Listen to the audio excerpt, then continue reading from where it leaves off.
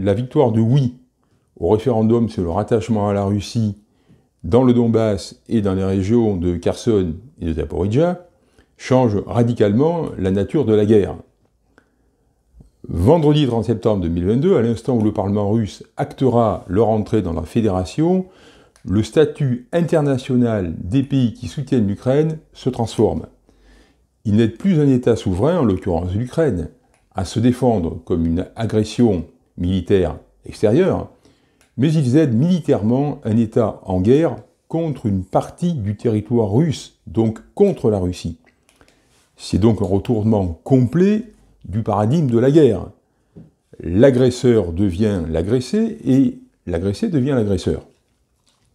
L'opération spéciale de la Russie pour protéger les populations russophones du Donbass et du sud de l'Ukraine devient du même coup une guerre de la Russie pour défendre son territoire.